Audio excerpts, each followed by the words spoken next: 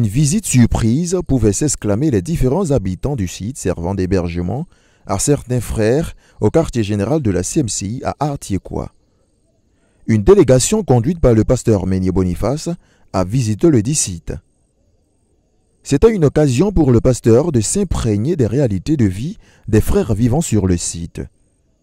Pendant cette visite, la délégation a touché du doigt la vie à Atiekwa, en dehors du site de prière. On pouvait apercevoir les habitats de fortune et les familles s'afférant à leurs tâches quotidiennes, certains occupés à cuisiner, d'autres se préparant pour se rendre sous les bâches où a lieu la rencontre. Tout ceci démontrant la simplicité qui anime les frères et le prix payé pour ne rater aucun jour de cette croisade de 40 jours. Arpatant les ruelles du village, le pasteur Meunier et sa délégation ont visité le temple des agneaux. On pouvait également voir des chantiers en cours pour dire que les frères continuent d'affluer sur le site. Il est bon de noter que cette délégation était composée du pasteur Boniface Meunier, de son épouse la sœur Colette Meunier, de certains frères de la délégation étrangère du comité d'organisation de la croisade du renversement des principautés personnelles et familiales. La visite, euh, en fait, euh, nous nous sommes présentés au pasteur en tant que responsable euh, du village. Et donc le pasteur a eu le désir de visiter le village. Et c'était même notre souhait également qu'il aille voir ce qui se passe, il aille toucher du doigt ce qui se passe. Donc on n'a même pas annoncé sa visite, ça a été une visite inopinée pastorale. Et donc voilà, nous avons été très heureux de l'accompagner et il a touché du doigt n'est-ce pas, euh, les réalités du village. Et nous étions accompagnés de la délégation, d'une délégation étrangère. Et ça a été très apprécié. Je pense qu'on a découvert euh, euh, des architectures vraiment originales. On a découvert la vie au village vraiment très intéressant, très authentique. et donc ça a été vraiment plaisant de voir le pasteur et la délégation sillonner les ruelles du village. Et vraiment, ça nous a fait du bien. Bon, ma première impression par rapport à la visite du site, c'est que j'ai pu admirer la sagesse de Dieu qui nous donne pour faire ce qui est essentiel avec des petits moyens.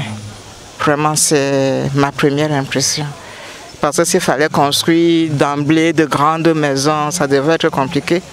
Mais toutes ces petites maisons facilement démontables, je crois que c'est le Seigneur qui a donné la sagesse là pour que cela soit fait ainsi, afin de résoudre le problème d'hébergement et de restauration. C'est vraiment facile comme ça.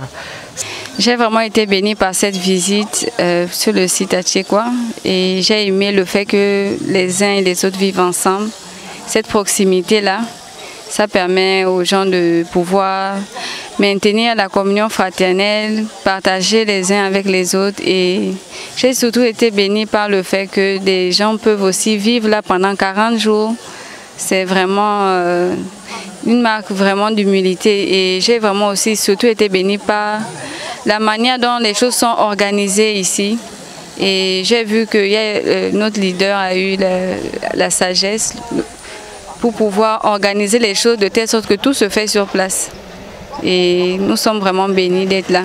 Euh, à travers cette visite, j'ai vu un peu le génie de chacun et puis j'ai béni le Seigneur pour euh, euh, la faveur que, que tout attire quoi. La faveur que les Ivoiriens ont trouvée aux yeux du leader ici pour que de façon vraiment spontanée qu'ils puissent avoir chacun un petit endroit où poser la tête. Vraiment, moi j'ai trouvé ça très génial et ça montre un peu l'union, l'unité de cœur, l'union de cœur et vraiment euh, euh, ça euh, la proximité des maisons et puis euh, le matériau avec lequel euh, chacun s'est servi pour construire sa maison montre la simplicité et montre un peu l'humilité quoi. Parce que